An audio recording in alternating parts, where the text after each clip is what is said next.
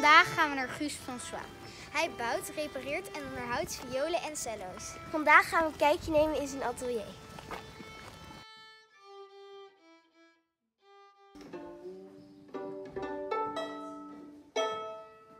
Uh, waarom ik voor dit beroep gekozen heb, is niet in één zin samen te vatten, maar er zijn heel veel redenen. Uh, het is gewoon het mooiste beroep van de wereld.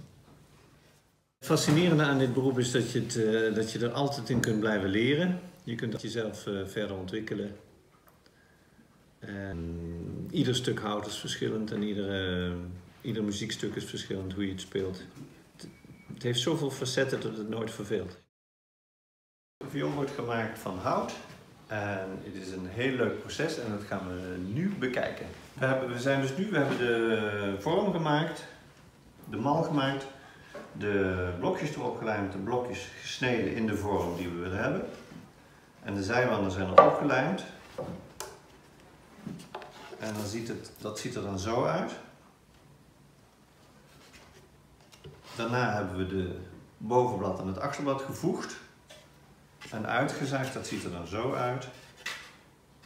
En daarna maken we de welvingen. Die worden een van de belangrijkste dingen voor de klank van het instrument. Samen met het model en de diktes van het hout. We maken eerst de welving. Ik kan natuurlijk nou niet echt gutsen, want het zit niet vast. En daarna gaan we met, uh, met kleine schaafjes worden, bijgewerkt. Moeilijk. Moeilijker dan je denkt, hè? Houtschaven is net zoals fietsen. Je moet het heel veel doen voordat, je de, voordat het steeds makkelijker wordt. En je voelt op een gegeven moment, je voelt dat het hout het schaafje pakt, net zoals brood snijden. Je moet niet zo alleen op het brood zijn, maar je moet echt snijden. Ja. Lekker. Ja, mij ook een stukje, maar heel klein. Ja. Echt zo'n... Nee. Ja. Ja. Na, nadat we met het schaafje klaar zijn, kijk of die, dan gaan we de schaafstaal overheen. Van al die kleine... En al die rulletjes weg. Ja.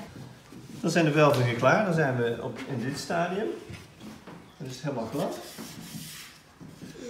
En dan gaan we de diktes maken. Eerst met de gutsen. Dat doet het vaststaan, dat, dat gaat nu niet. En daarna weer met, weer met, die, uh, met de Dan ben je uh, bijna op dikte. En dan luister je heel veel. Je, het gaat op klank en je buigt het ook. En dat is mooi om te zien hoe je kunt. Kun je zien hoe die buigt? Op zit, dan zie je dat hij helemaal tordeert. Daar staat de zijwanden van het cello.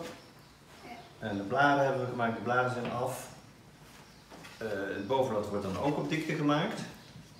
Maar dan gaat de mal die gaat eruit. De mal die hebben we niet meer nodig, die gaat weg. En dan wordt het bovenblad op dikte gemaakt. En dan komt er nog een zangbalkje in. En dan de F-gaten natuurlijk. Ja. F-gaten worden eerst gefiguurzaagd en daarna met mes gesneden. En de functie van de F-gaten is om het blad nog flexibeler te maken. Dus je ziet ook, dit is nog flexibeler dan het achterblad. En dit is dan de zangbalk. Die wordt er precies ingepast. Ja. De viool zonder hals klaar. Nu de hals nog. Ja. De hals die komt uit een, uh, een halsblok. Uh, die teken wordt opgetekend eerst zoals je ziet. En dan wordt die uitgezaagd. Zo ongeveer, dan ben je hier. Die krul die snijden we met, uh, ook met kleine, kleine en gutsen.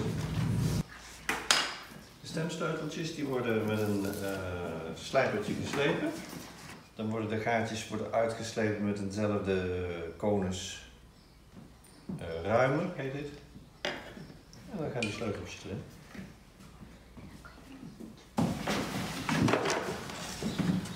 Dit zijn oude stapeltjes. En dan moet die stapel die komt tussen het boven- en het achterblad komt die in te zitten. Dus hier zit nou geen achterblad in, maar de viool is al dicht. Dus dat gaat dan als volgt. Dan ga je zo ga je er zo in. Dan pas je zo precies het stapel zodat hij precies daar komt te staan. Met de stapel kun je ook het geluid instellen. Als je de stapel dichter bij de kam zet, krijg je meer volume. Als je het verder weg zet, minder volume. En je kunt ook de balans afregelen. De stapel. Dus de stapel is een heel belangrijk eh, onderdeel van de viool. In het Italiaans heet het ook eh, de ziel, l'anima. De stapel zit erin, er moet alleen nog een kammetje opgemaakt worden, dat wordt precies aangepast aan de viool. En dan de snaren erop. En dan is hij af. En dan het kindstuk erop en dan kun je viool spelen.